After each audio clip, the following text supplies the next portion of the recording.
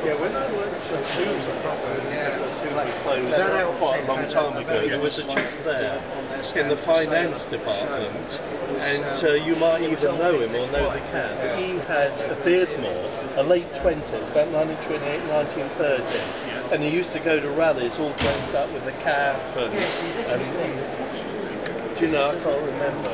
Very few vehicles. There's, there's only Yeah.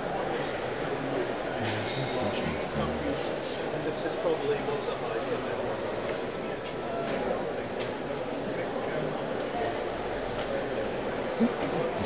Thanks. Well, certainly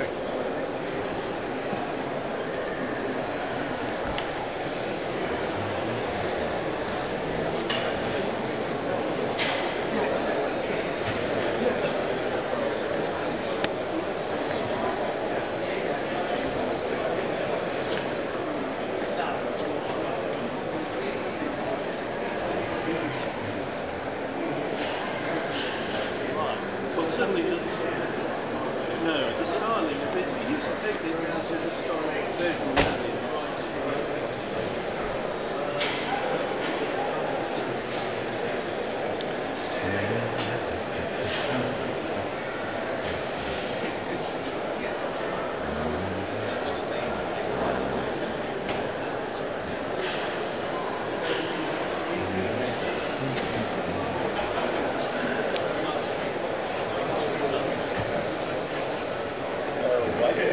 think, I think this car will be more.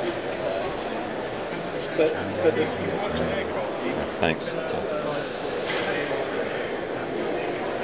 oh.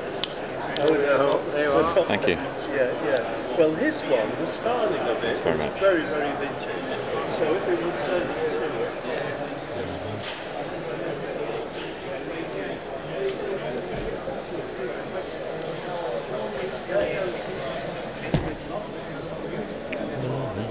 And as I say, he used to come, he had luggage all the